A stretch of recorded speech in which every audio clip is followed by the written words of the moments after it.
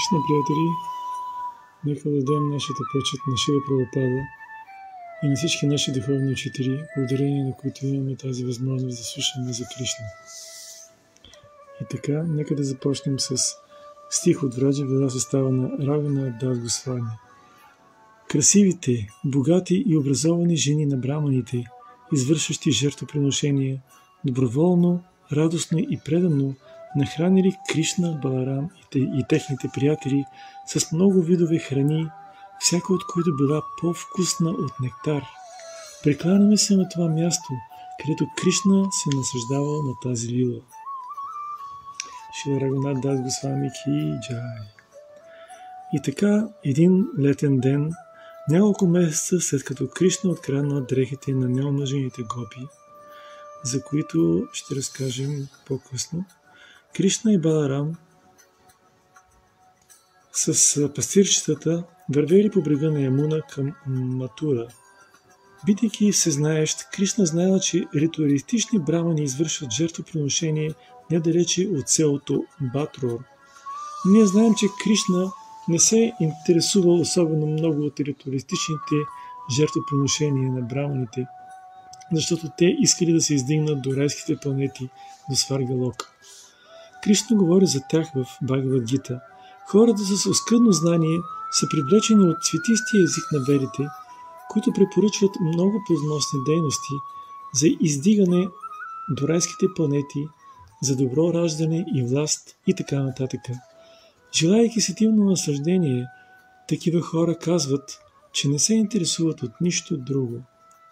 Кришна знаел за тези брамани, но всъщност Кришна искал да се срещне с техните жени, защото те били негови чисти предани, за разлика от съпрузите им. Както преданите искат да видят Кришна, така и Кришна иска да види своите предани, защото любовта е взаимна. Кришна повел пастирищата и кравите към Бартур. Било посред лято и било много горещо. И всички вървели по оценките на дърветата покрай пътя, за да се облегчат от силното слънце. Тогава Кришна произнесъл няколко стиха, възхваляващи дърветата на Вриндавана. Той казал О, стока Кришна, Амшу, Шридам, Субал, Арджуна, Вришаба, Оджасви, Дева Праста, Варотапа. Просто вижте тези щастливи дървета, които търпят природните стихии, дори когато ни предпазват от тях. Като велики святи души, тези дървета живеят, за да доставят полза на другите. Всичко, всичко каквото поискаме от тях, листа, плодове, кора, дърва, те дават всичко без да се колебаят. Така никой не си тръгва от тях разочарован. След това Кришна произнася много известен стих за благото на всички живи същества. Дълг на всяко живо същество е да извърши благотворителни дейности за благополучието на другите – със своя живот, богатство, интелигентност и думи. От думите на Кришна може да се разбере, че става въпрос за материално благочестиви дейности, но още по-важно е, че Кришна има предвид духовната благотворителност. Дошло време за обяд и пастирищата страшно огладнели. Този ден обаче обяда, който майка Ешода изпращала на момчетата, не е дошъл или много закъснял – Понякога пастирищата си взимат обяд, приготвен от майките им в вързопчета, а понякога майка Ешода готвила за Кришна, Баларам и всички момчета. Но този ден обяда не дошъл. Всички пастирчета били притеснени и те се обърнали към Кришна и Баларам. О, Рама! О, Кришна! О, силно ръки! Нас ни измъчва страшен глад и вие трябва да направите нещо. В коментарите на Вишваната Чакаварти Кура в Сарата Даршини се казва, че момчетата казали Кришна, верите казва, че гладът е най-големия враг на човека. Ако успееш да отолиш нашия глад, ти ще можеш да победиш този враг. Кришна се усмихнал. Скъпи приятели, аз съвършенно разбирам положението ви. Моля ви, вървете направо по пътя към Матура и ще наближите село на брамани, които извършват жертвоприношение за достигане на райските планети. Кажете им, че Баларам и аз са ви изпратили да поискате малко храна.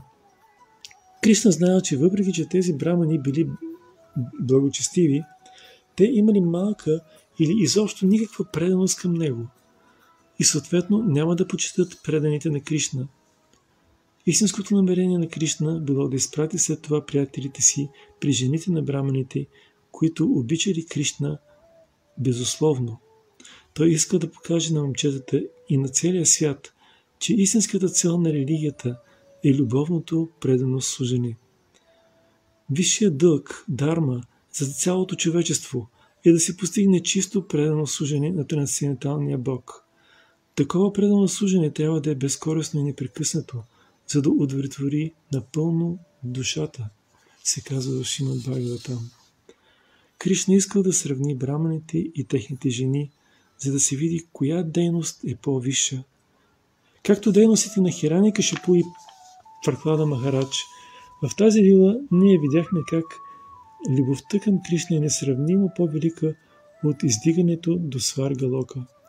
Живота е предназначен единствено и само да се вкуси съдостта на служенето на Кришна. Има поговорка «Животът е цвете, за когато любовта е мед».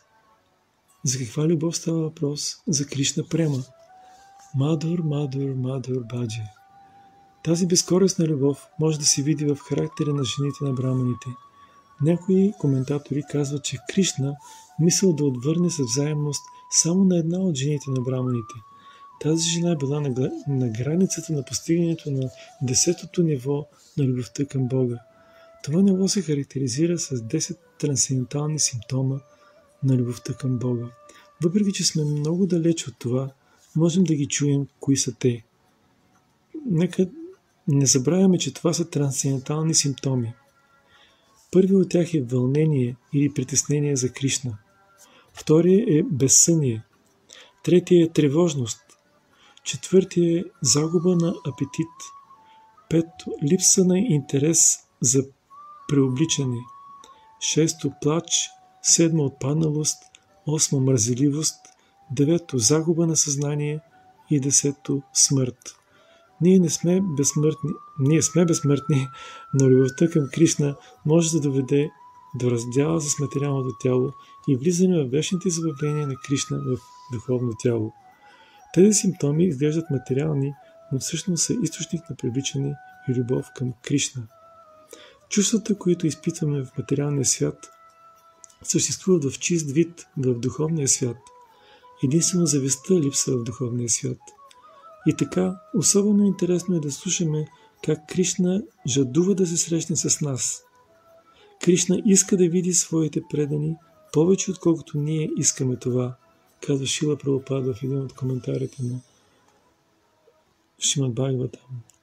Кришна изпратил пастирищата в Батрур, за да поискат храна. Той ги предупредил. Помнете, приятели, че просека трябва да е търпелив. Момчетата радостно се отправили към селото и се приближили до жертвения огън. Те се насъждавали, гледайки огъня и дима, докато слушали повтарянето на стиховете на Сама Веда и усещали аромата на горящото ги. Устите им се напълнили с люнка, предвкусвайки ястията, които ще ли да предложат на Кришна.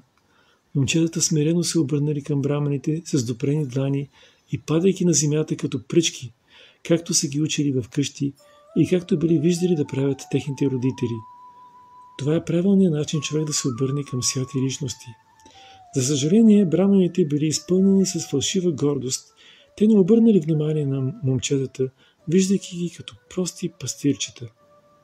Помняйки предупреждението на Кришна, момчетата, чието сияние е надхвърлило многократно сиянието на ритористичните брамани, казали О, земни богове! Ние сме приятели на Кришна и Баларам и молим да бъдете така добри да ни чуете. Днес изминахме голямо разстояние, пасейки нашите крави и не си взехме никаква храна от къщи. И както Кришна и Баларам, ние сме гладни. Отваряме скоба.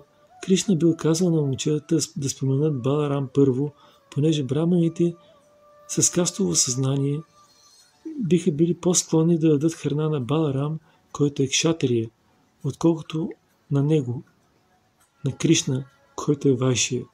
Но браманите казали, Кришна и Баларам не са брамани и не можем да им предложим храна, докато ние не се нахраним. Но момчетата отговорили с думи, съдържащи цялата истина. Кришна и Баларам са гладни, спрете ягата и нахранете Бога. Но браманите били заслепени от арогантност и високомерие. Те не осъзнавали, че върховният покровител на жертвоприношенията ги моли за помощ. Върховната божествена личност, принадлежностите, мантрата, огъня, предлагането, целта на жертвоприношението, лично се обърнал към тях, но, но неспособни да го разпознаят, те се отказали да изпълнят, отказали да изпълнят желанието му. Пастирчетата били представители на Бога. Браманите казали не. Без да обръщат внимание на това, движени от глад и желание да доставят удоволствие на Кришна и Баларам, момчетата продължили да настояват, но браманите се раздразнили, че някакви деца ще им казват какво да правят. Един браман е имал наглостта да каже тази Кали Юга настъпва много бързо. Тези алчни момчета искат от нас непредложена храна. Те искат за някакви си момчета, за които те казват, че са били Бога. Но Бога никога не е гладен. Защо отказали брамените да дадат храна на Кришна, на Баларам и на пастирищата? Първо, те не могли да оценят, че Кришна и Баларам са Върховния Бог, защото извършвали животински жертвоприношения и били станали жестокосърдечни. Второ, липса на благочестие. Трето, няма ли милостта на Кришна в своя живот? Пастирищата разбрали, че не успели да изпълнят мисията си. С разочаровани лица и влачайки нозете си, те се върнали при Кришна и Баларам, но не искали веднага да кажат за несполуката си на Кришна и се обърнали към Баларам. О, Баларам, представи си какво ни се случи. Въпреки, че молехме храна от Твое име, нас не пренебрегнаха. И обръщайки се към Кришна, те казали, скъпи приятелю, ние не можахме нищо да ти донесем.